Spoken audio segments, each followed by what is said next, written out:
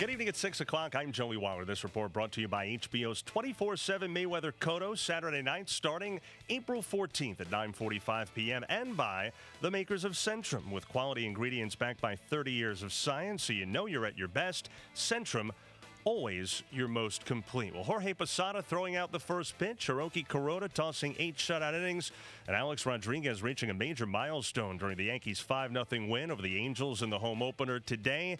Kuroda allowing just five hits. Nick Swisher, a three run double off loser Ervin Santana in the first. And Alex Rodriguez hitting his first home run this year, a solo shot on the third, and that tying A Rod with Ken Griffey Jr. for fifth on the all time homer list with 630. Yanks have now won four straight after that 0 3 start. Meanwhile, David Wright's broken pinky will sideline him for tonight's Met game in Philadelphia. R.A. Dickey opposing Cliff Lee. Pregame here on the fan beginning at 625. On the board, National League, they go bottom six in Frisco. Giants still lead the Pirates 2 0. Matt Cain was perfect through five and two thirds until a single by the opposing pitcher, James McDonald. Bottom three in St. Louis. Cubs lead the Cardinals 4 0. American League top seven in KC. Indians 7. Royals 3. Red Sox pound the Rays at Fenway 12 2, scoring 8 in the eighth. Meanwhile, the White Sox a 5 2 win over the Tigers. Elsewhere, Knicks hosting the Wizards tonight. Knicks leading the Bucks by two for the East's eighth playoff seed. Nets visit Philly later. Pregame at 6:50 on AM 1130 and on the ice.